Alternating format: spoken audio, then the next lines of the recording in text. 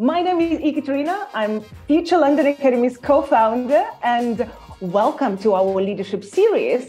And today, our special guest is Tiffany Rolfe, an incredible, amazing global chief creative officer at RGA. RGA, I'm sure you know the company. It's a global international company that works in between technology, creativity, media, and all sorts of creative disciplines in one. And uh, Tiffany had an incredible career there, growing teams, uh, creating new amazing campaigns. Um, but before that, Tiffany also done lots of incredible things, including being chief content officer and partner at one of the first agency and consultancy hybrids called Co Collective. And before that, she also had lots of different leadership roles, as well as has been co founder of her own companies. So Tiffany has seen it all and done so much, including winning lots of awards. And seriously, Tiffany, when I was going through your list of awards, I I was um, not just impressed. I thought, is there anything that you haven't won? Because you've got Titanium Lions and fans, you've got Grand Clio, you've got Best of the Show of One Show. Basically, you've got all the top of the best of the best awards, which is mind blowing, seriously mind blowing. And of course, you've been featured in all sorts of publications from Ad Age to Fast Company to Wall Street Journal and New York Times, and also been named Women to Watch by Ad Age. So, uh, welcome, welcome, welcome, Tiffany. How are you doing? Well, thank you. That was quite an intro. And also, wow, I've been doing this for a long time. So, yeah, there's there's a lot of things to collect over the years, I guess. Uh, appreciate having me. And I know everyone's all different time zones around the world. So really uh, grateful that everyone's here celebrating. Um, going into at least for me the the holiday. This is like one of my last last things before I get to shut down for a couple of days. So it's fun to to be here with everybody. Well, I'm also very excited, and it is indeed our I suppose last episode of this leadership series before we go on a break. And as you can see from my background, it's quite festive here in London, and uh, I feel like it's a very nice place to finish our and wrap up our series about what the future holds for creative leadership how can we achieve more in our roles and basically the best way to prepare ourselves for the new year. A lot of people who reach the chief creative officer position at some point in their creative career were also founders and were running their own companies, studios, organizations. And that made me think uh, that probably those skills are super relevant when you get to the C level position and suddenly you have to talk to other businesses and other business people. So you kind of have a better context. Am I right? And what would you say you learned from the experience of being a founder that now you realize aha that was super helpful i mean it's interesting because i um i hadn't really ever looked at it through that lens and i wonder how many um, of, of, people in those roles have done that but i think you're right. Um, for me at least i think it was a big part of how i've shaped my um, career and you know part of it is just understanding what brands businesses are going through and the challenges and everything that they have to balance um, i think as a as a leader you move out of just the lens of like i'm doing this one project or this piece of work where you can kind of hyper focus on that. But i think to really um, to, to be a great partner to clients you have to understand the things that they're dealing with every day the, the, the business challenges all the different facets of, of the business, the different types of teams, the way they have to sell things through in the organization just to get the work that we want to get made out in the world. And when you've had to do that for yourself and understand all these other types of challenges that are coming your way while you're also trying to do great creative work, it makes you, I think, a much more empathetic um, leader, someone that can um, think about creativity in a lot of different ways because uh, you know i always believe creativity is everybody's job. It is how how you sell through the work how you consistently solve challenges that come your way you know as as business needs change. And so creativity can really be applied to a lot of areas of business. And that that business lens um, i think is something that sometimes is missing from the creative side. Sometimes we're uh, sheltered from it or thought of that we don't understand the business side. All, all, we think about is this one thing. And i think to become you know a leader of an, an organization you know at my level uh, so much of what i'm doing is a lot of different things besides just the the everyday work. But i look at it through that lens of creativity and know that creativity can solve business challenges and can help solve all of these other things. And so um, it has i think helped me be a, a leader, a creative, but also a business leader. And I also think it's kept me um, a lot of the areas that I've done as far as startups, um, founding. I've been trying to do new things, find new ways of working, lean into new technologies that are happening out there. And a lot of that comes with that curiosity, that entrepreneurialism, that wanting to try and do things differently than you've done them before. And that's helped me, I think, also just evolve in my career to where I'm not just trying to sharpen or hone the same skills that I've always had, but like really embrace every new media platform, technology that comes our way, cultural challenges, whatever they are. And how do I look at those um, differently? And how do I actually embrace that change? You know, we we can sometimes be a little bit fearful of change, and we want to just keep doing the things we know. But that's to me the surefire way to kind of have stasis and not evolve and not move forward. I'm all about the change, even though it's a little scary. Actually, that is um, was my next point of discussion because that's something that I really, really admire about you. And I was mentioning to you earlier that I was um, watching your old videos, how you were doing portfolio reviews, whatever it was 15 years ago. And uh, when we had physical portfolios that were like literally, you remember those when you had yeah. printed out banners frame by frame banner. How about that to show the animation? What I started thinking about it, that obviously the industry changed so much since that moment and obviously your career uh, only went up and up and uh, that's actually very unique for a lot of creative people who get successful. How do you not just stay successful but also grow and develop and keep up to date with everything that is changing? Because it's so easy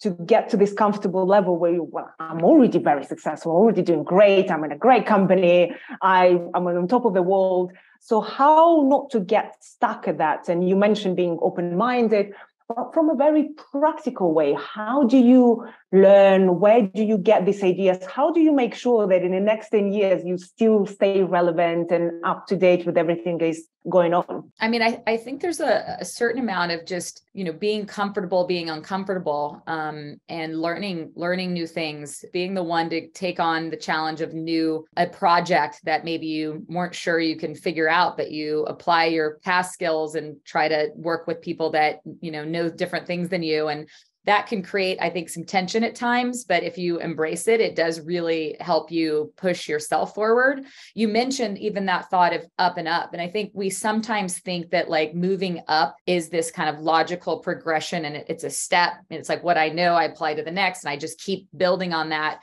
And actually for me um, going up didn't always mean going up. It meant going sideways sometimes feeling like you're going down a bit because a lot of the choices that I made in my career weren't maybe the obvious next step up. They were, you know what, I'm going to join this startup that is totally different than what I've been doing.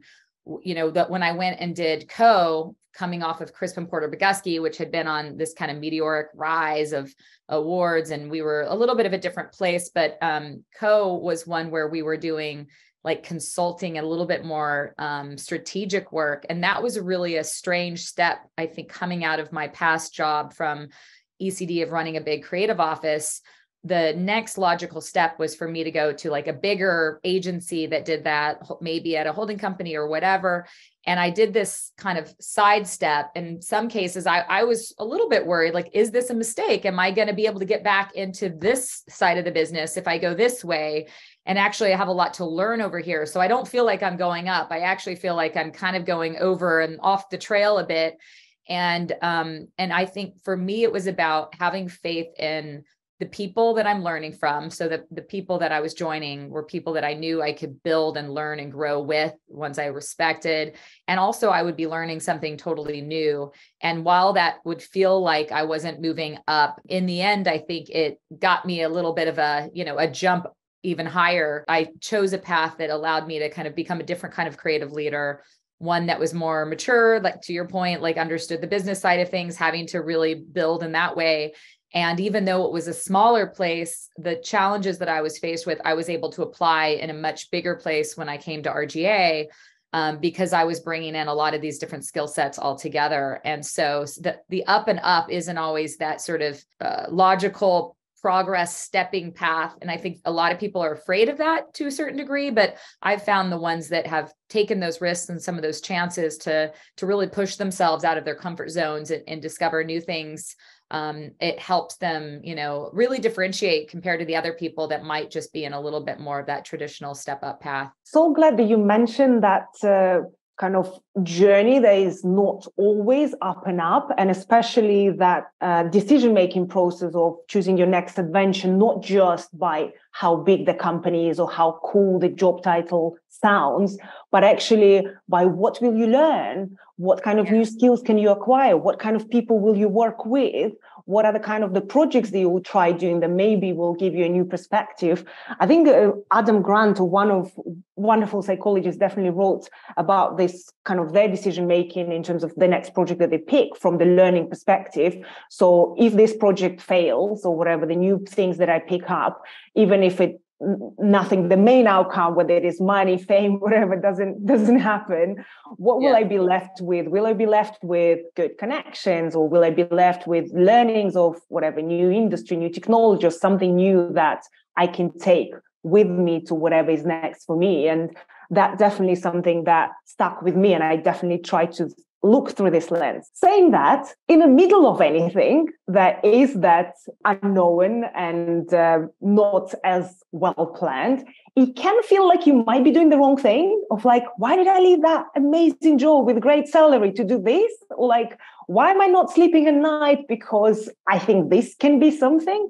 Have you ever had those thoughts in the middle of being in, on that journey? And and I suppose, how did you explain this to yourself, or what was your thinking process then? You know, we all have questions.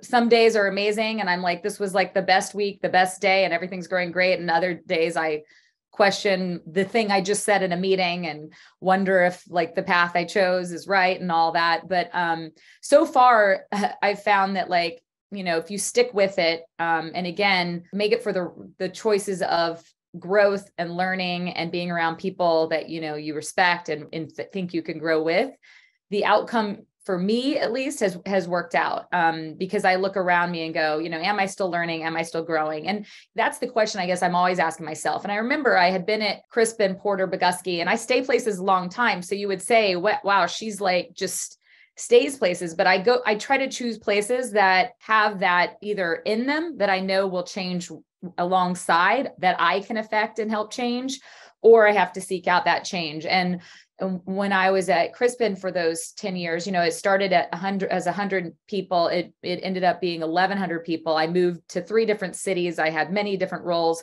So I kept growing. And it wasn't until there was one day where I was doing an assignment and I was like, "Wait a minute, I feel like I've done this assignment for the last, you know, 2 years again and now i'm just kind of on step and repeat. And that's that's the part that's the thing that always gets me is when i feel like i'm a little bit stopped or stuck. And if you can't make that change around you which sometimes you can be in environments that do um, you can make that for yourself. You don't have to quit leave go somewhere else to do it. You can try to create the conditions the role reshape it within the space that you're at. But if you feel like at some point that you're stuck and you're not growing that to me is always that signal. So i'm always kind of asking that question of myself. And even if it's hard, you know, and even if it's like that thing didn't work out to your point, there it's not filled with every every single day as as is total success, but even with some of the the failures or the you know maybe i shouldn't have done this thing or that you know you can you can learn from those. And then i also think it's about surrounding yourself and being with people listening to different perspectives that are different from your own that help you see things differently and help you grow too um, where where that could be a lot of challenge you know i think one of the questions uh, i saw a couple of questions come through before and it was bringing all these different types of skill sets together um, and that's a lot like rga has many different types of skill sets so we do many different types of work. That can be very challenging to have you know all of this different ways of thinking together um, but to me that's where that's where i grow too. Like i i like to change up work with different people not just do traditional partner structures creative partner structures um, push myself to look at it through different lenses different backgrounds even though it can make me uncomfortable. And even sometimes if i i think my way is right like you try to take in the other way because it surprises you how just you know forcing yourself out of your comfort zone helps you grow. So it's not always easy. It's you you question it every day but i think if you're if you're growing and learning then i think you're always kind of doing the right thing. This is brilliant and i love how you talk about being uncomfortable and being challenged in your opinions because again what comes with seniority and with comes with success i suppose or at least stability in career that you start thinking that you always right because clearly your decision making process got you to where you are right now. That means you you must know something about the industry, about the job, about the clients, whatever there is. And it becomes very hard at a senior level to drop those thoughts or those patterns that you already have as they led you to where you are.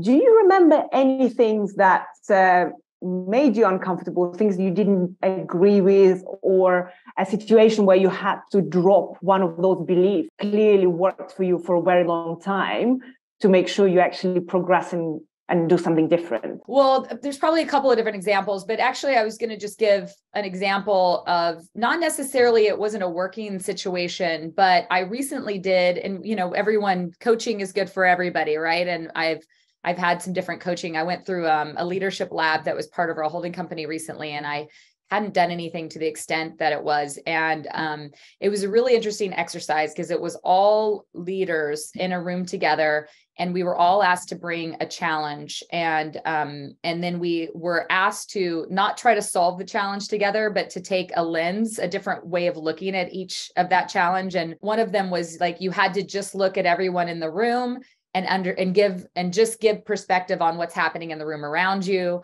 You had to give a lens of like what do you think the challenge you have take the other side's perspective you know and, and be be that perspective. You couldn't also say anything. You had to just have a round of asking questions. And then I had to do one where I just had to write just things I saw in the room. And just that forced um, way of having to look at something in a different mode. I think as leaders, sometimes we get in that solve mode. I get on a call and I'm supposed to look at something and in that moment say yes, no, this, that.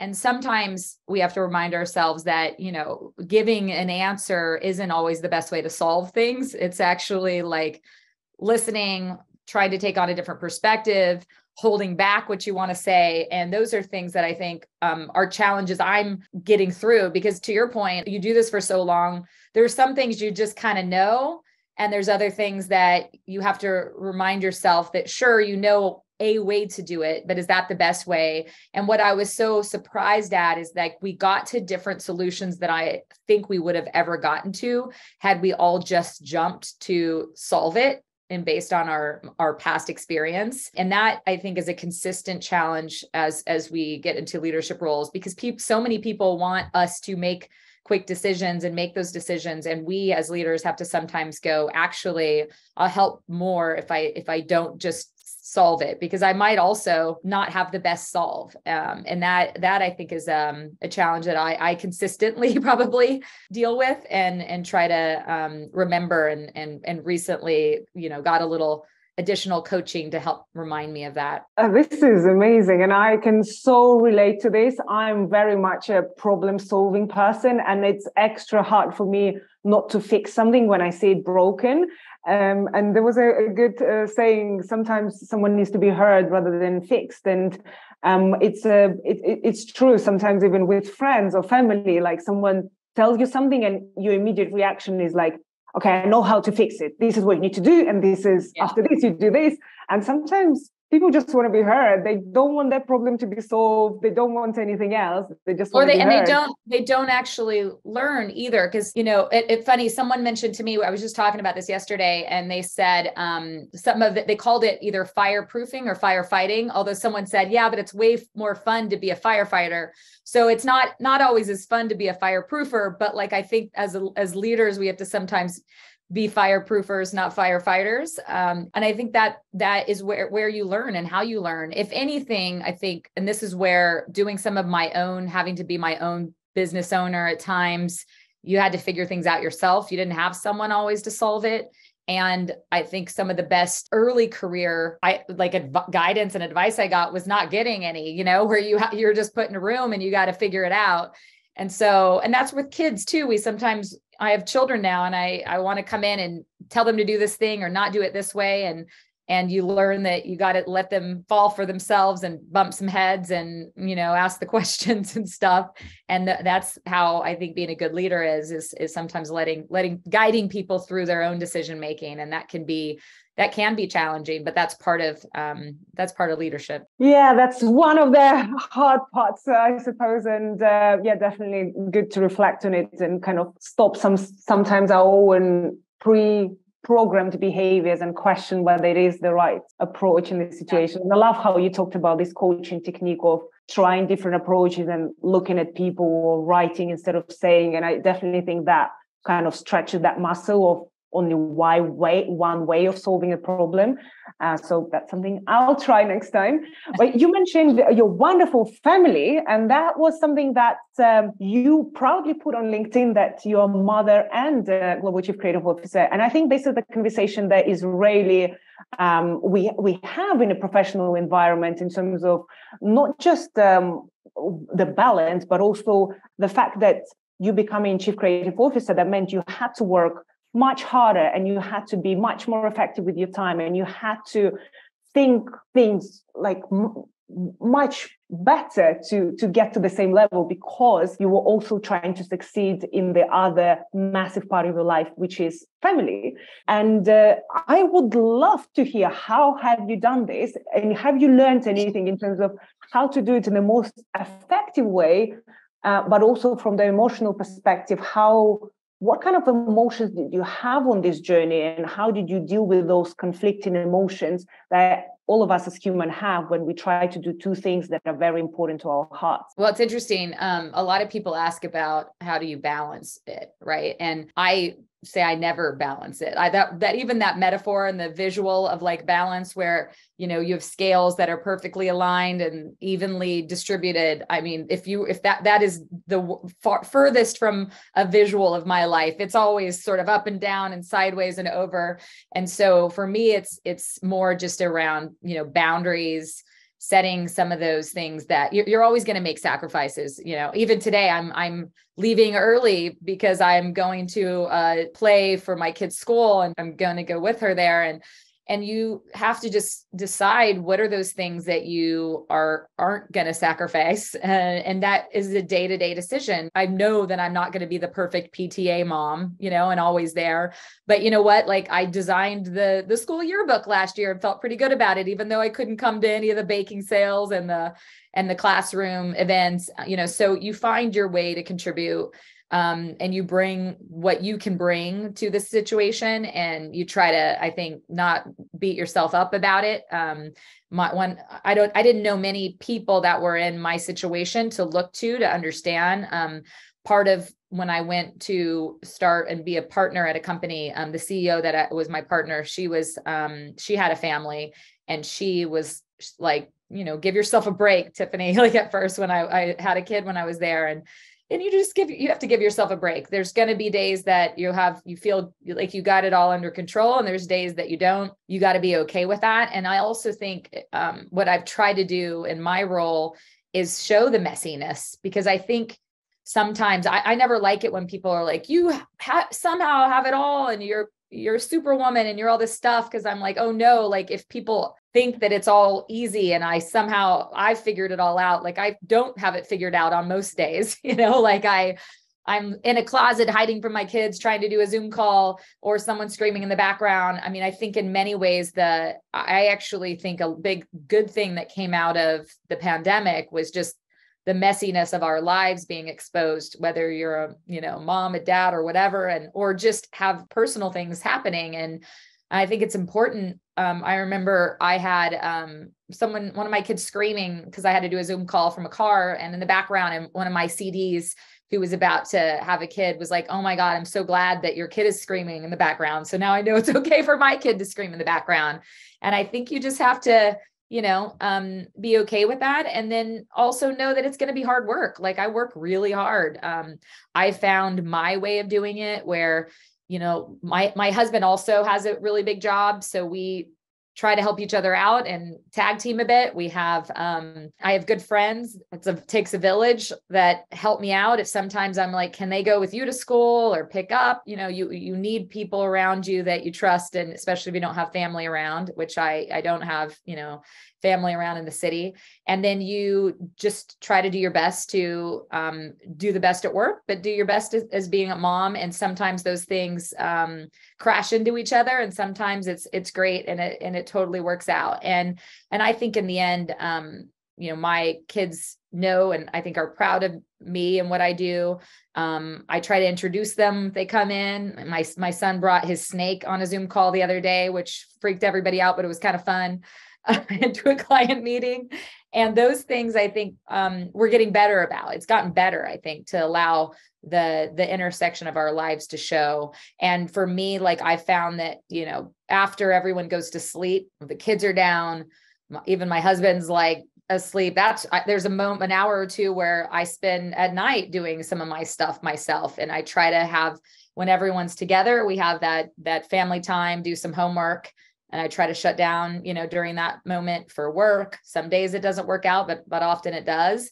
And then I have my times where I figured it out for myself. You know, the the one thing I do probably consistently is sacrifice my own needs, you know. So sometimes I'm not at the gym as much as I want. My, roots aren't as good, you know, uh, my nails don't look great. But then I get back into the mode of also taking care of yourself because that's that's a big thing. You have to not always leave last on the list. So um, m- one of my New Year's resolutions is a little is is more time for myself. So we all we have a lot of things and needs, but we we also have to to care for our clients, care for our kids, and care for ourselves. I'm glad that you put yourself in the mix of the priorities as well, because I think that's everyone's better when I'm not in a bad mood. Let's just say. definitely, definitely true. Um, and I love that you brought up the, the, the hard work behind trying to do both because it, it is an incredible hard work, and uh, the fact that you're sitting here and still doing an interview uh, while there are so many things that you need to do and have to do and uh, obviously we totally appreciate it but also um, it's incredible that you find time to do these things but also very strict on i need to leave early as much as i want to contribute to this it's very important for me that i go with my kid wherever i need to go so i love that you're very clear with your boundaries and very open about why you're doing certain things. You didn't say like, I have a next meeting straight after this, so let's cut it short.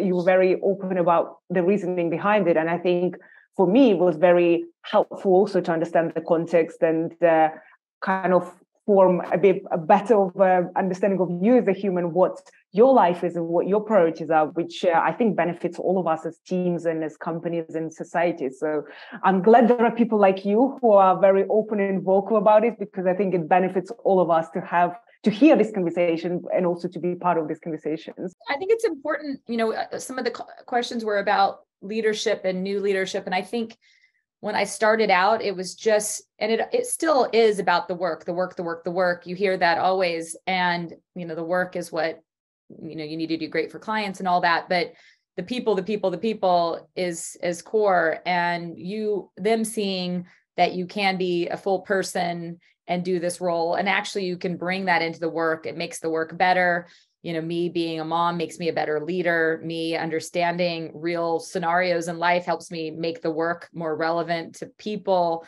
Um, and so i do think that you know focusing on understanding our the people were around us and not just through the lens of the work is important because you have to create that that culture and the conditions for the work to thrive. And if you don't have that then you don't get the good work you know Totally agree. And I think you also mentioned a very important point that also for, for your family and for your kids is very also important to to see that role modeling that you can have a successful career and you're passionate about your work and you really love what you do and you do it with all your heart. So I think that's very inspiring for them to see. But other situations where you have to hide in the closet, you have to do a certain thing, and um, your your kid wants your attention, they want your love, and you have to have this tough uh, decision saying sorry not now are there any ways where you found a way not to feel guilty in the moment or certain ways you found a way to have this conversation better? I don't know, anything around that moment? I've had a lot of times where kids have come in wanting me to do something. I mean, I usually just either I say I pause if I can and say excuse me for a second and then I I talk to them and say here's what's happening or I have had to be like no you know and they and then afterwards you have to talk to them. You talk them through it. The, one thing that I I have you know learned around being a mom and having kids is you can just be clear with them you know? It's like hey sometimes mommy has to be very focused on what she's doing. It's just like when you're in school you have to be focused on doing schoolwork. If i came in i sometimes give examples that they can relate to. So i went to i went to my uh, kids class uh, a couple months ago and I waved to her and was like, hi, Myla. And I was like making faces or whatever. And she came to me afterwards and said, please, if you come back again, never yell my name and, and make a face at me in class. It's very embarrassing. and so I used those examples. And I remember when I came to your class and you wanted to focus and embarrassed and distracted you. And I yelled your name and like waved and made smiley faces in class to you. And she was like, yes. I'm like, well, sometimes that's how I am with, with my clients. Like I can't, I, I have to be very focused. And it's a, you know, it's also a little embarrassing for me. And so I think then they get it. They're like, oh, okay, I totally understand that because I've been there. And so sometimes it's just telling them how it is and why, and that you have to be in these situations that don't make sense in that moment but that, that they're important you know because of the the context and and they get it because they deal with it too. They don't want their parents crashing in on them in their in their environments as well. Oh this is such a creative approach to motherhood leadership and time management. This is brilliant um, and uh, yeah definitely i think it's a brilliant hack to to have uh, adult conversations with, with your kids you mentioned team and uh, how important it is to to kind of think about your team in a holistic way and there are lots of questions that people asked about how to grow the team and all sorts of things that can make the team better. And I would love to talk a little bit about that, specifically with uh, how do you promote people within the team and what kind of qualities do you look for in someone to get them to let's say creative director level executive creative director level and how do you help them with that transition as well? In my career path i remember at least one of my leaders or bosses at some point um, telling me that that you don't get promoted and then do the job you do the job before you get promoted.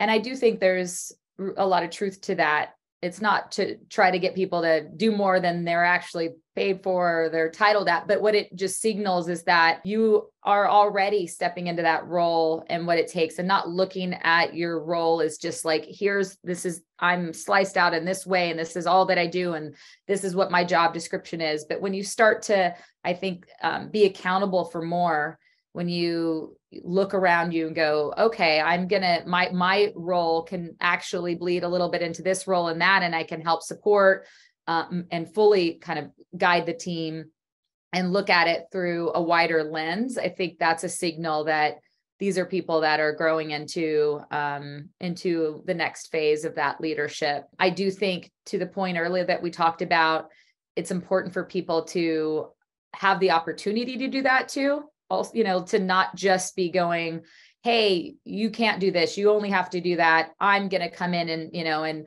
and let them make mistakes even. I think we sometimes it can be a lot of pressure on all of us to deliver for clients. It's more competitive i feel like than ever. Everything feels like it's a pitch in a way. And it can be even harder i think to allow people to make mistakes um, and so, where are those moments and those opportunities for them to have that ability to try on their own, to make decisions and choices on their own? And that's um, a job that, that that as a leader, whatever level you're leading, kind of below you, that you allow for some of that to happen, even if it means you might have a bad meeting, even if it means you know you show up not as well as you would like to. Um, but I think some of those learnings are really important to kind of learn for yourself and figure it out. So that I think is really critical. I think the ones like I, I always tend to favor when you're just getting you're you're building with the team, getting the work done, you just are thriving and and continuing to be part of the team um, rather than it's always a conversation about when am I getting promoted? When am I getting this? When am I? There's a there's a lot of urgency around that, and it's not that everyone shouldn't get promoted, but I feel like sometimes those become the conversations then really about what are we trying to get out of it? What is it about that role? Because I, I worry sometimes if you get promoted too quickly that you don't actually thrive then in that next level. You aren't getting all of the different skills and stuff that you need. And so i think that's where on both sides we can all do a little bit better management on how to give people those opportunities to grow and also how do you allow yourself to grow and then be ready for that next step uh, simultaneously. So that way you are in the right role and position and doing doing the actual job once you're there this is uh, great that um, you talk about this from like perspective of doing the role before um, actually getting the job title and especially actually enjoying that as well because i think a lot of the times people get promoted to the role that they think they will like but turns out when they start doing it it's actually something that they never wanted. So i think it's very important to have that taste of the role before you actually step in into that fully to understand if that's something you actually enjoy doing. And in our conversation earlier you also mentioned that uh, one thing that you wished you knew uh, before you became chief creative officer is actually to, to enjoy each step of the process a bit more in terms of your progression and not being too focused and again going to next next next and uh, enjoying when you're still learning about design and creativity and kind of all the experiments and the failures that goes with it and the first it's like enjoying school you know like i sometimes wish i had even done more in school even if it meant like worse grades because I was just just to soak it up. Take all those opportunities when you can be learning to just learn them because there's some of the things that I I'm in the role now. One it doesn't ever get easier. It's just different. In some cases it gets harder and you still do the things. I still sometimes like have to help write like a social post that's like going live you know we we're all also still doing these other jobs even no matter how high of a job you get and if you don't enjoy every step of the way it, it, it's not like all of a sudden at some point things get easier and you can sit back. You're always challenged right? And you have to kind of embrace each of those levels and try to enjoy what you get out of each of them because you miss some of that stuff. I miss some of the things that I don't get, you know, in the eh, that in what what I do now and a lot of the operation stuff that I do now. Like there's some things that um that when you first start out that you don't get to do as much of and and they're fun, you know? And so try to just really live in that moment a bit. And I feel like the the rewards and the levels and all the things can come along. It doesn't mean you can't advocate for yourself and and all of that, but it's about just trying to actually soak it all in. And again if you know if you're not enjoying it that it doesn't mean you're going to enjoy it when you get a little bit more senior. You have to find the things in it that you want to do and enjoy doing I think every part of life more, even roles where there's roles, we always look back and think if only we just relax a little more in that moment instead of trying to get, get the next thing, next thing. It's like before preparing, don't know, for, for a birthday or for a big event, you kind of so excited about the next thing and then it goes like this and you're like, ah, I didn't actually enjoy the moment and being present within whatever there is uh, excitement before or when it happens or the feelings after. I think it's a hard skill for any human to learn. Um, but uh, yeah, we, I think that's definitely something that would be super helpful and yeah something we should um, yeah should should do more of in the meantime um, we will discuss a few more questions uh, that i would love to talk about today. And you already started talking about the team and uh, kind of how important it is to have the great team. And part of it is hiring as well. And uh, especially hiring for senior roles i think becomes kind of more and more challenging. Again the, the further up you go the more senior people you need to hire. And i think at the designer level and even at the creative director level, I suppose you still look at the portfolio mainly and kind of the quality of work. But the more senior people you hire, the more you have to consider other skills.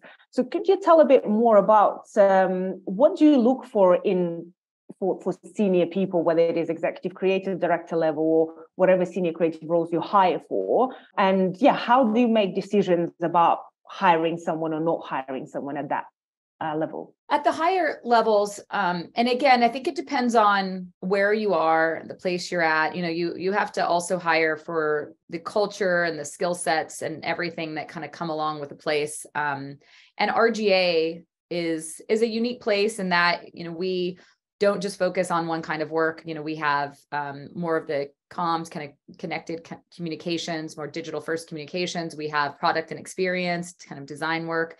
We have brand design and consulting. We have media. Because of that, we have we need people that also know how to be connectors across those, those different types of work. Um, have to be both experts, but but very T-shaped in terms of their experiences and i've at least found for for our environment at that leadership level they they tend to be people with similar paths that i've had where they've decided to not just take that traditional one type of pathway you know one type of agency journey. They've gone client side a bit. they went to a tech company. They were at a tra- more traditional ad agency. Then they did some design and there's something about their appetite for taking their creativity beyond one or two formats you know mediums um, is something that is a is an important type of leadership skill set that i think um, has worked well at rga that's not to say we we don't also have experts that just do one thing really well because we need those too but especially at that highest level leadership a lot of our projects need to intersect with other types of work, different types of teams. And if you only know one way of working, have one kind of background, have only worked in one type of culture that's a little bit more singular, they have a more of a challenging time, I think, um, helping to bring teams together, different kinds of teams together, and and bringing um, an openness to different ways of working. So that that's something that i look for at rga and leaders um, as well. And that's been a big how do, you, how do you test this like all of these things? Because they i suppose easier described than actually observed when someone comes for the interview and you have very limited amount of time and how do you test for this culture for this kind of different skills that you're looking for especially when they're not visual like a portfolio that you can just easily look at well, a lot of times when you're at that level, it's the places that you've been, you know, the choices you made, hearing about that journey. I, you know, I talk a lot to people about their experience. I love hearing kind of like, how did you start out and how did you get to where you're at? And they, and hearing about those different journeys that they've gone on.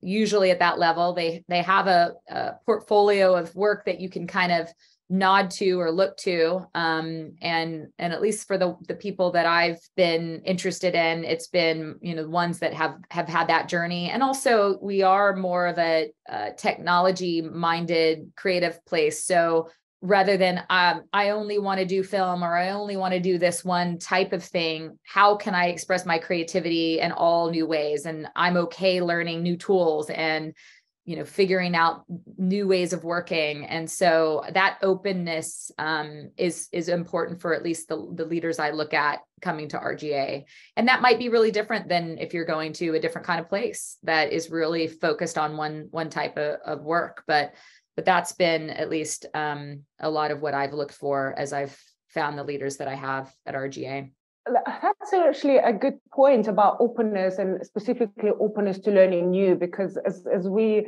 just discussed earlier i think the the further you get in your career the more senior you become you kind of sometimes can get stuck in your own way of thinking. So looking for leaders who are still open minded and who still willing to learn and don't think they're right all the times um, and also want to stay up to date with how the industry is changing i think it is crucially important. So um, if you yourself are that type of leader in your organization values that type of thinking then definitely attracting people who still want to learn and stretch their thinking and will question things and look at things from a different perspective and won't think their opinion is the best. I think uh, that's something that's I think more of us should look uh, for in the people that we hire. Yeah, and, um, and just to add to that, like even when I first started out, like it was important for me to have to show that I did lots of different types of work and my portfolio was a blend and so i remember i knew that not every place would like that a lot of people told me people just want to see ads, this kind of print ad. They want to have 12 of them, three campaign or four campaigns, three each. There was like a formula.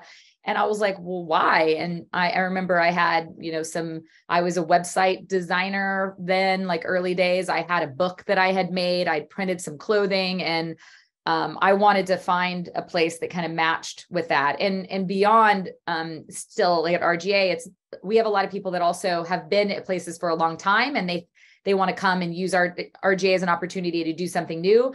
For me, I want to already have proof that they've done that along their journey rather than at the end of towards the end of a career going oh no i have to because i think that's another point you can get to where you don't try that soon enough and then before you know it you have no choice but to jump out into something new and it's much harder i think if you haven't kind of embraced some of that um, earlier on uh, in your opinion, Tiffany, what is the hardest part about being a creative leader? Is it hiring? Is it creating the right culture, time management, working with uh, other C level teams, CEO, CFO, COO? Is it day to day management? Not doing enough creative work, looking after the business side, or letting people go? What is one hardest if you had to pick one? I'll just bring the letting people go as one that's especially hard. But I also think that I always say to people, you're not a leader until you've had to fire somebody or let somebody go because it is part of what we have to do as in this role. And a lot of times it isn't because they're not great it's a business decision and that to me never gets easier. So that one i think is a hard one no matter what. And that's something that really truly is a, a leadership role and job. Do you remember the first time you had to let someone go and i cried and they cried probably. Um and but then you learn after you've been here for a while it's sometimes people then go and they do more and better and it was the right thing.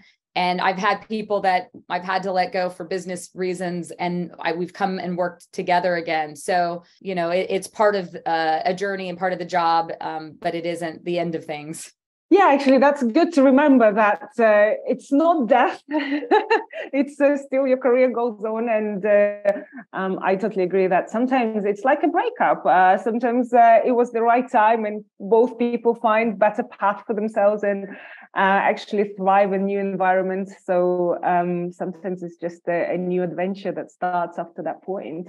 but in the moment, definitely does not feel nice. Okay, we've got question number two four day week. Yes or no?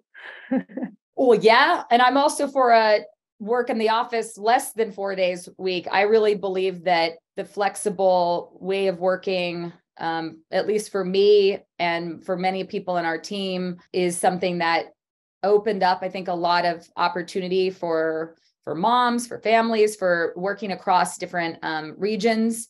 We have a lot of projects that are not just in one city that build teams across different regions and locations. And some of my teams that work with teams in in new york said for once um, a zip code isn't your advantage. And so the idea of being able to be more flexible with how you work and where you work um, and trusting that people will do the work um, and then coming together in the right moments is is really important but not forced to be working in a way that maybe isn't the best way to work these days. I don't know if four day week is a is a good number.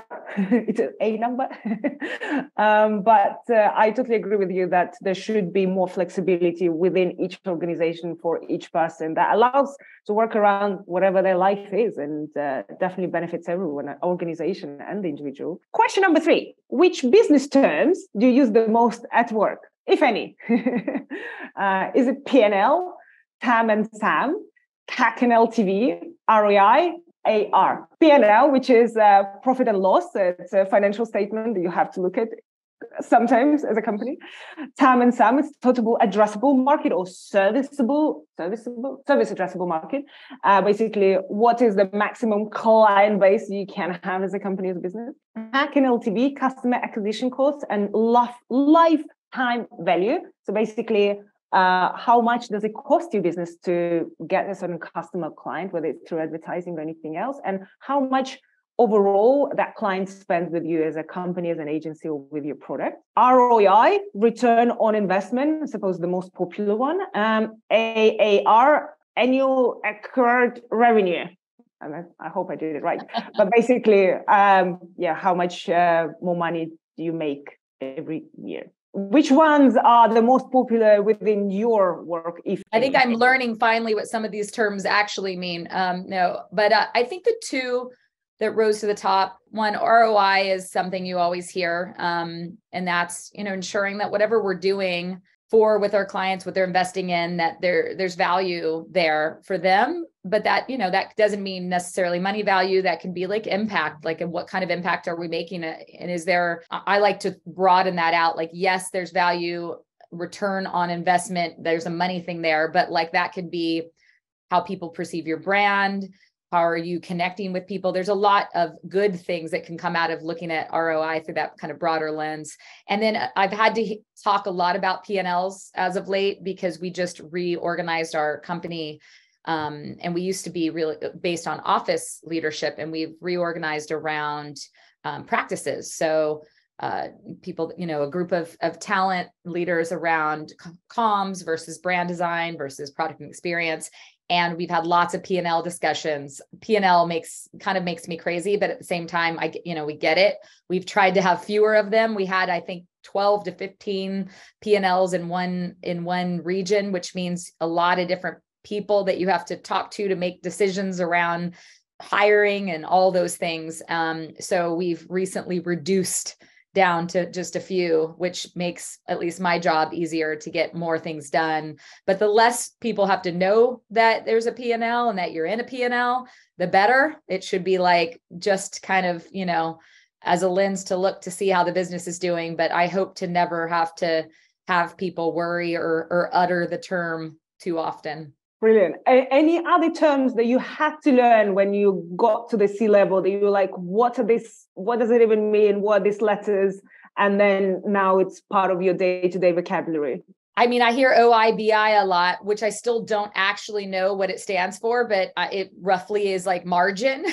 so, and sometimes, you know, even in the meetings that I'm in, there's some things that I don't know. Um, I try to learn as many of them. I think the more I understand, the, the better I know how to to get a, around and you know be able to bring different kinds of solutions to those challenges. So it's good that we all learn the terms but it should definitely not be the, fo- the, the only focus of our conversation. The more we talk about how are we supporting and helping clients how do we understand their business how are we you know building teams in the right way um, when we focus on those words um, and those actions it's much better than all the the marketing terminology that we can be drowned in Oh, I 100% agree. And I also f- feel like all these terms have been invite- invented by certain people in finance or other departments yeah. just to scare people away. All of them are actually pretty simple, as you said. Like, as long as you know the meaning behind is like how much money you make. I specifically like the term business model because uh, I, I like there was explanation recently. It's like basically how you make money why people can't talk about simple ways of describing something like how you make money. Instead they want to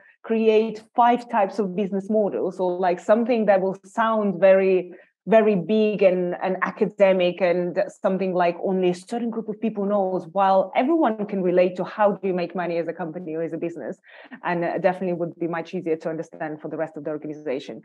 But i think it's important for us to be curious and learn new things but also not to be stuck uh, within the terms and uh, thinking that that as you said that's the only metric that matters or that's the only thing we should focus on. It is all about impact. Okay question number four. Uh, hire for skills and culture will follow or hire for culture fit and skills can be learned? I would say hire for skills. The reason why is i think when you say hire for culture fit you can get into like some weirdness there like what what is that culture fit and whose culture and where are they from? And i think sometimes you say that but what does that really mean right? Um, and don't we want people that have had different backgrounds different cultures to come together bring different perspectives or you kind of end up just with one one type of view on the work? So um, i think skills and we want people to bring a lot of different types of cultures together. I though I would say the caveat is probably that depends on what we mean by culture fit and what we discussed before about being open and kind of being um, open for learning and just in general the way you think can be counted as culture fit yeah. but i 100 100% agree with you that sometimes culture fit becomes this term of uh, yeah, just looking for someone who's same as you and not exactly. understanding the, the diversity of incredible people that are out there uh, and disregarding them. So uh, skills is a good way to, to focus on that. Okay, question number five. Uh, if you could do any role again for a week, which one would you pick? would you want to be again a senior designer, a creative director, or a chief creative officer?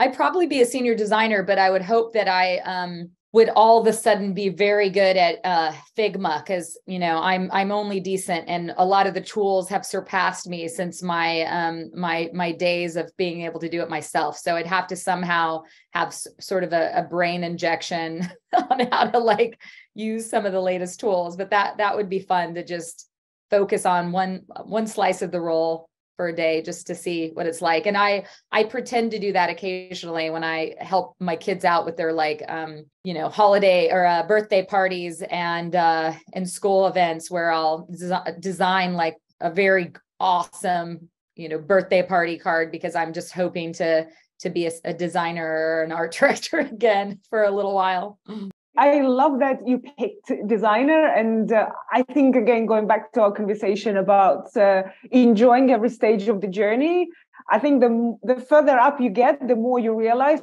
how much fun it was at the step before. But again, kind of a good reminder that there will be step after what we're doing now. So we probably should enjoy what we are doing now because 10 years in, we'll be like, ah, remember that time? It was so much fun when we didn't have to think about this and that. Um, so um, yeah, I definitely agree with um, going back and doing doing more stuff there. And, and I think that's actually very healthy conversation that you don't need to be chief creative officer to be great at what you do to enjoy your life to just uh, succeed with all the creative things that you're doing it's not about the job title for sure. It, it's just a job title that certain people enjoy doing but doesn't mean everyone should. Oh someone said i want to be cco for good not just for a week. Haha well that is a fair comment. It is a fair too. um, how do you combine a busy schedule management tasks and creativity it's it's a relevant question right now because um, I've just been part of this reorganization on how our teams are organized, um, how we look at you know do work, and part of that is me figuring out this for this next year going into this new way of working, new model. How do I make sure I'm I'm scheduling the right amount of times with my teams, looking at work, thought leadership and external activities and my own personal life. And um and it gets when i list them all out you know it can be overwhelming. And sometimes i get very tactical. So right now i'm i made a list of like my priorities um, into buckets with some bullet points underneath them. And i'm actually doing a fake calendar of my first three months of next year on all the meetings and on the ways of uh, sessions that I want to bring teams together. And I'm mapping it out on a week, week by week basis over the course of like a month and looking to see if it's even possible. Because everything I've listed that I need to do and want to do, I'm going to realize I can't do. And so what I'm doing is putting it all on there and just seeing how, oh, I would actually have to work all night and all weekend to get that done. And then I have to reprioritize and go, okay, well, if I can't do this weekly, could I do it monthly? And if i can't take this on who on my team can take this part on? And do i have to say no to judging this award show or doing this? Which management meetings do i have to step out of? Um, and you know and where am i going to prioritize my time with events for family vacations things like that? So sometimes it's actually as literal as like making the calendar color coding it and then just looking to see if it's even humanly possible and then you have to make some hard choices on what you have to say no to. Um, it's something we do with with clients and brands. There's a framework of stop start continue. Um, you know what are the things you're going to stop doing? The only way you, if you stop things can you start doing new things? And then what are the things that you're going to kind of continue to do that you've always done? And finding the the balance of those and the priorities of those is is really important but it, it, can be a lot if you just try to do it all which is often what i'm i try to do and and then things start to to fall off off the list and you don't you want to be in charge of what those things are and deciding them versus it happening because you're out of control basically. Oh, 100% agree that uh, sometimes when you realize how much you planned for the next month or few months, you realize you need to have a double to complete even half of the things. So it's good to reprioritize and actually see what what what you can drop. What's your current, I suppose, ratio between creative work, team management, ops, um, and other things that you want to do that all cool, but maybe not core? I probably, at least in work, when you become CCO, um, you have sort of the, the way that I think about involving myself with work is there's some work that I kind of go deep on and there's some work that I go wide on. The wide work is more I'm helping to make sure we have the like the we can hire the best, we have the right people in place, I'm bringing in the right talent and then looking at briefs and things like that that are going to shape the work and make the most impact on everyone else that does their job. I can't be in the weeds looking at every single review, but I can actually create some conditions and ways of working and the right talent to make sure that the work gets to the place it needs to be. And then I usually pick a couple of key clients that tend to, as a CCO, you tend to be the ones that are your biggest, most challenging clients, ones that you have the relationship with. And those um, I go deep on. And often I'm picking the clients that are sometimes the most challenging that that others are like having the hardest time with um, cut, cut to the fireproofing firefighting comment um, and there i go deep and i i'm you know understanding all the work. I'm reviewing it. Um, i'm helping to make sure that i'm almost like the exec sponsor of some of those clients and those i'm i'm accountable to that the creative work the relationships are great and and i see work down you know to the everyday presentation. So I stay somewhat close to a couple of key clients and then have a light touch on a lot of work. All the work is is is my you know how i have to do that. And i also do that through the lens of um, i do these things called gr8 councils. We have a, a, a tool it's called gr8 it's four questions around the concepts themselves and four questions on the the impact of the results. And we meet twice a year as a council across disciplines to look at all work in progress. That is the you know kind of rising to the top as well as work that's all launched and that's a tool they use throughout the year. So that gives me that wide view. So that i would say is probably about um, 40 to 50 maybe 50% of if it has some sort of direct impact. And then i would say um, 30% 25 to 30% is internal like management making choices around business needs um, you know all of the exec meetings broader management type meetings um, and then the rest is um, kind of external thought leadership, board shows, um, things like that. Oh, this was super helpful. Thank you so much for talking about all the different things that you look after. And I especially love this thinking about what impact your work makes and kind of constantly reflecting back at your work. I think that's a, a very great way to uh, to check in with yourself. Um, and how do you see AI impacting our creative work at every level? I, I think it's going to hugely impact um, our work. And I've seen, you know, amazing tools that our teams have already started to use, both from the visual kind of generative side, the the verbal generative side. Um, like we've always had tools and technology, I think, to support the creative work, but uh, what's happening now is like kind of almost beyond imagination in terms of what it's able to do. And I think our roles are going to shift. There, our roles have always shifted. I saw when I, I ran um, YouTube maybe 15 years ago, right when it was first getting going, and it was the YouTube creators and understanding what a creator was and this different kind of creative role that was also a community leader and they a business as well as a creative uh, an influencer all of these things. And that was a way of changing it. Things like photoshop and um, you know a different uh, keynote all these different types of tools have always helped um, enable our creativity. But i think this probably more than anything um, and i think we'll have to our roles will still will still need skills to i think understand. A lot of it's going to be skill set by understanding what great craft is um, what taste is how to how to be a curator.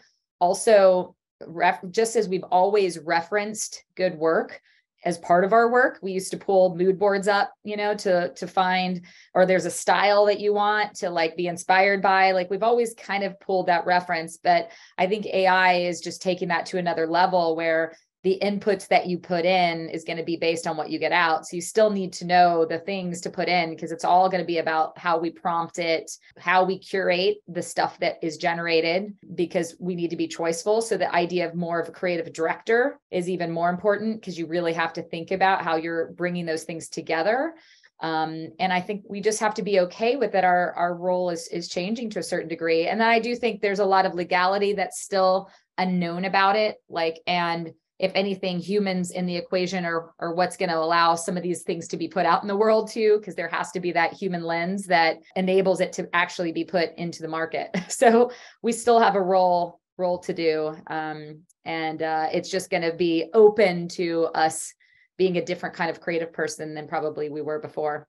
Oh, 100% agree about curation and create creative process behind the actual output that is still not going anywhere for sure. Gregoria is asking, how do you understand if you want to be a design leader and what's the best path to get there? Um, I mean, working as a designer, like if you haven't, I don't know what what level people are at, but I went to design school. I went to art center um, in Pasadena. I, I interestingly started as a designer without school and that was early days of web. No one really knew what uh, how to do website design and programming then. I even tried to go to school for it and there wasn't so i was kind of initially self-taught but there was definitely something to be said to going to design school and having that space to to just be a student to learn to do printmaking as well as digital design to design a book as well as an ad to um, create products uh, and design you know is there's a lot design is a, a big word too. There's a lot of different types of design. There's experience design. There's even verbal design. Um, and so i think it's exploring and and a lot of times it's hard to know what kind of design you're going to be guided by and and and you want to have as much kind of that experience to help shape the kind of designer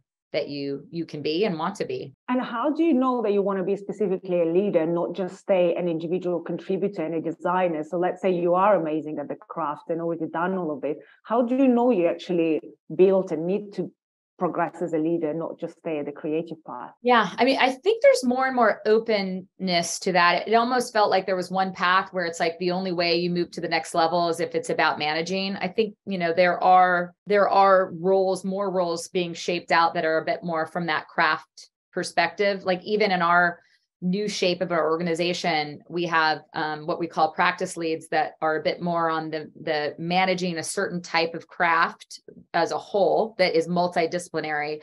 But we also have craft leads that are specific to a certain kind of design, a certain kind of writing. And their job is a bit more to look at that, how to develop the skill set within that craft and also the people and the talent. So the people version versus the the the combination of multiple disciplines together and what the work output is as a whole and how to sell that to clients and and and shape a, a certain kind of point of view. There are going to be people that want to manage and like to teach and build and grow. Um, there's other ones that want to understand that kind of business side of it um, understanding how to sh- shape and sell work for clients through a different lens and some that are just going to be like i want to be an expert in this one area and shape and build and and just do a certain kind of work.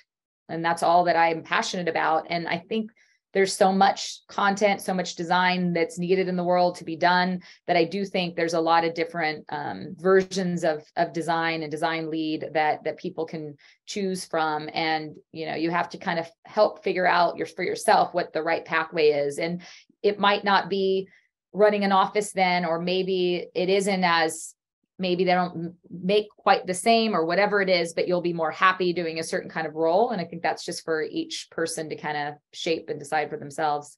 That's a fantastic answer because you pointed specifically very two important things. One is leadership is not always about managing people. You can lead and inspire people in all sorts of ways.